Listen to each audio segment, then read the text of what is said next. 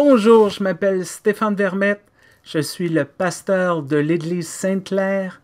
Je voudrais vous demander, avez-vous de la difficulté à laisser aller?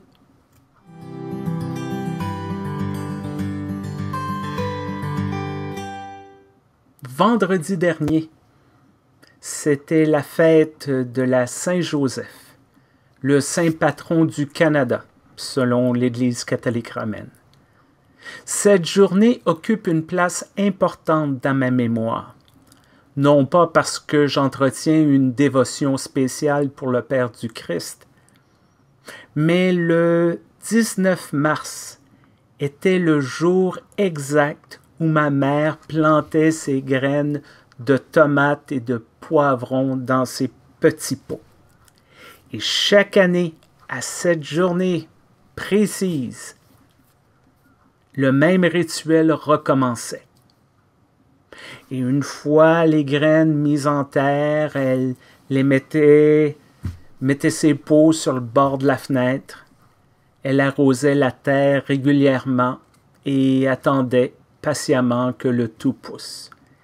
Et quand le début de la saison chaude se pointait le bout du nez, les jeunes plants étaient transplantés dans notre jardin potager afin de produire des fruits et des légumes pour le reste de l'année. Et souvent, des graines étaient récoltées et conservées afin de continuer le cycle le printemps suivant. Un autre rite printanier qui se répète tous les ans est le carême, qui tire déjà à sa fin. Dimanche prochain, nous débutons la semaine sainte avec le dimanche des rameaux et qui se conclura avec la crucifixion de Jésus. La mort n'est pas nécessairement un sujet populaire dans notre société. L'exécution publique du Christ l'est encore moins. Mais je suis conscient que l'image et le symbole de la croix rejoignent beaucoup de personnes. Pour eux, pour elles, la mort humiliante de Jésus le place en solidarité avec toutes les personnes abandonnées, opprimées, colonisées, emprisonnées, battues ou abusées. Personnellement, je ne suis pas de ceux qui aiment si vous me pardonnez l'expression, se baigner dans le sang du Christ. En temps normal, je préfère sauter cette étape un peu dérangeante dans la vie du Messie, afin d'aller directement à la grande fête de Pâques, un moment plus joyeux, plus positif et plus vendeur en 2021. Mais malheureusement, ou heureusement, ce n'est pas ainsi que les choses fonctionnent la mort et la résurrection du Christ sont intimement liés. logiquement, il est impossible d'avoir l'un sans l'autre. Le texte d'aujourd'hui, tiré de l'Évangile selon Jean, tente de nous rappeler cette vérité implacable. J'ai souvent mentionné que le quatrième évangile était profondément différent des trois autres. Dans ce texte, rien ne doit être pris au pied de la lettre. La vie et les enseignements de Jésus sont des métaphores, des allégories, des images écrites cent ans après sa mort, servant, comme le mentionne le verset 31 du chapitre 20, et je cite, pour que vous croyiez que Jésus est le Messie, le Fils de Dieu, et si vous croyez en lui, vous aurez la vie par lui. Alors, dans notre texte, Jésus tente d'expliquer à ses disciples le sens de sa fin imminente en utilisant une image tirée de la nature. Il affirme, à moins qu'un grain de blé ne tombe en terre et ne meure, ne reste qu'un simple grain. Mais s'il meurt, il produit beaucoup de fruits. Jésus nous rappelle un des grands paradoxes de notre monde. Les fruits que nous aimons tellement apparaissent seulement après une certaine forme de mort et de mise en terre.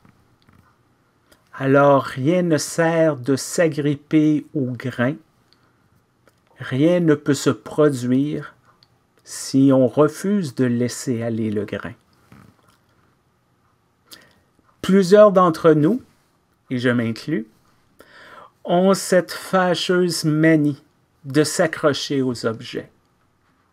Nos placards, nos sous-sols et nos garages sont remplis de, boîtes de livres, de vêtements ou d'objets divers, datant parfois du déménagement précédent et que l'on garde jusqu'au cas où.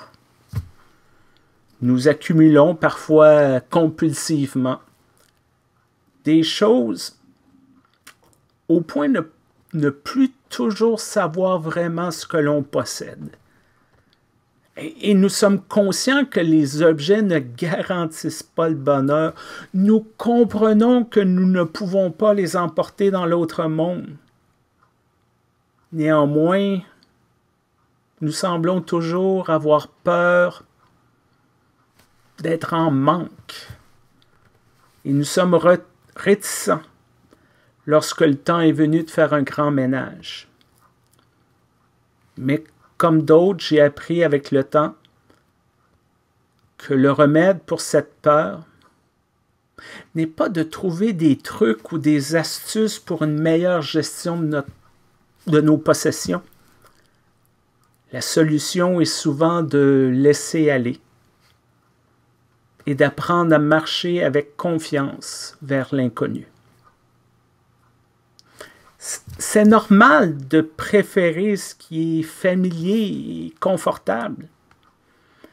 Les disciples ont sûrement espéré que leur merveilleuse aventure avec Jésus ne se termine jamais l'Église en tant qu'institution préférera toujours défendre les traditions et l'orthodoxie établie au cours des siècles.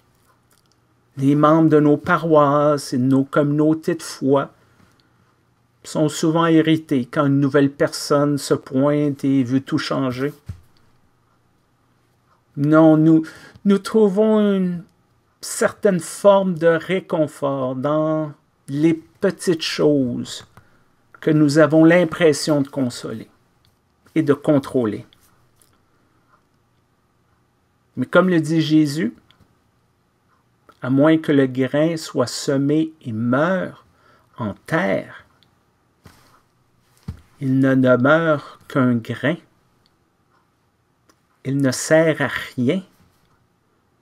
Son but premier est de produire une plante un fruit et de se multiplier. Et c'est pour cette raison que nous sommes encouragés à peut-être arrêter d'accorder toute notre importance à ce grain, à, cet objet, à, à ce rêve qu'on peut perdre. Et commencer à regarder et espérer le fruit qu'on va récolter. Nous sommes invités à comprendre que tout ce processus forme un grand continuum jalonné par plusieurs étapes. Et quand une situation nous dépasse, dépasse notre compréhension, dépasse notre capacité, nous sommes appelés à continuer à croire que ce qui a été vrai dans le passé va être vrai dans le futur. À continuer à planter nos grains un par un et à continuer d'espérer sans aucune promesse ou garantie. À quelques jours avant le début de la semaine sainte, nous sommes invités à nous souvenir que chaque événement d'une histoire forme un tout. Chaque moment de l'histoire du Christ, aussi inconfortable qu'il puisse être, n'est qu'un maillon qui sert de transition vers le suivant.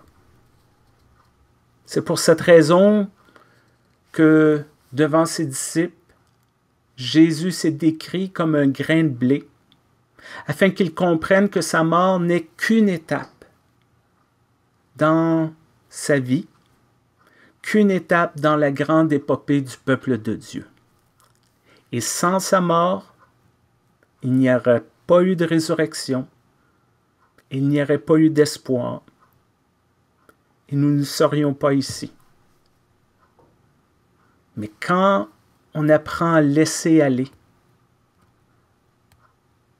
on peut découvrir que il est possible, avec le temps, de savourer les fruits au temps de la récolte. Encore une fois, merci d'être là que vous écoutiez sur YouTube ou sur Facebook, n'oubliez pas d'aimer, de cliquer, de partager, de vous abonner, particulièrement à notre infolette qui envoie qu'un seul courriel par semaine quand il n'y a pas de pépin technique. Le lien se trouve en haut, en bas de cette capsule. Prenez soin de vous. Au revoir.